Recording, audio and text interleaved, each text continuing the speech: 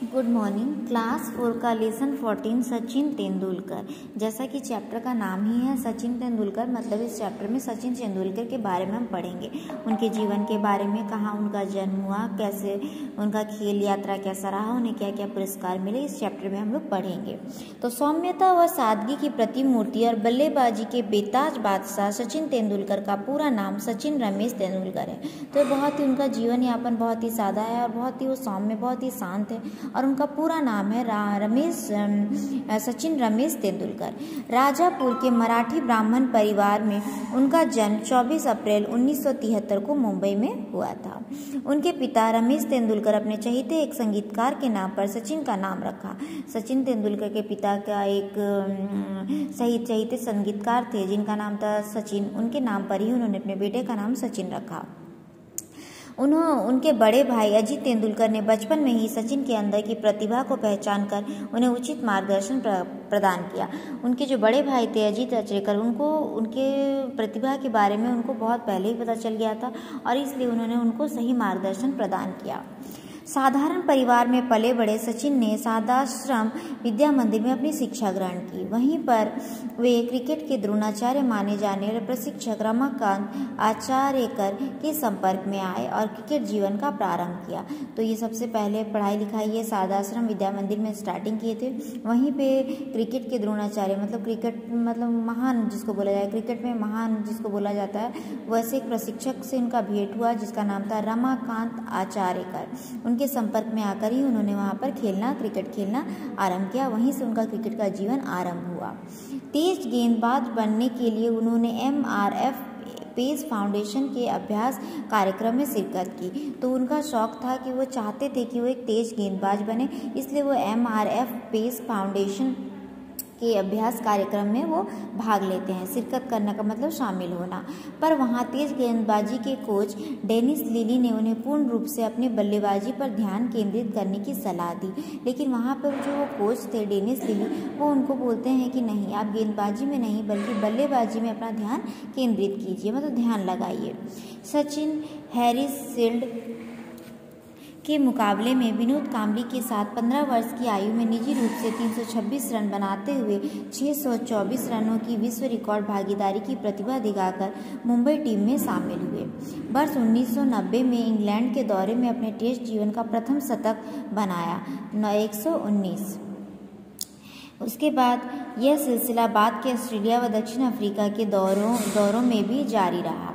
अपने 21 test match विदेश में ही खेलने वाले सचिन ने वर्ष उन्नीस सौ बानवे और तिरानवे में इंग्लैंड के खिलाफ टेस्ट मैच भारत में खेला।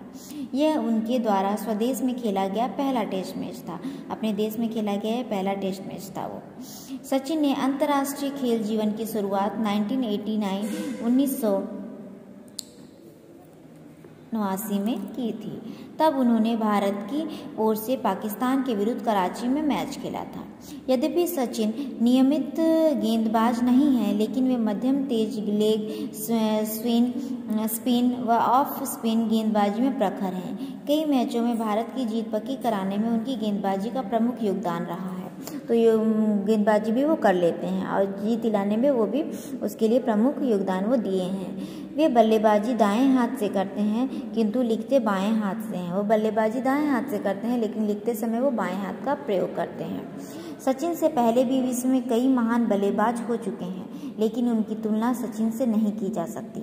वर्ष उन्नीस सौ उनासी में अंतर्राष्ट्रीय क्रिकेट में पदार्पण के पश्चात वे बल्लेबाजी में कई कीर्तिमान स्थापित कर चुके हैं। तो जैसे वो अंतर्राष्ट्रीय क्रिकेट में पदार्पण हुआ, उनका मतलब प्रवेश हुआ, उसके बाद उन्होंने बल्लेबाजी में कई कीर्तिमान स्थापित किए मतलब बहुत सारे रिकॉर्ड वो बनाए।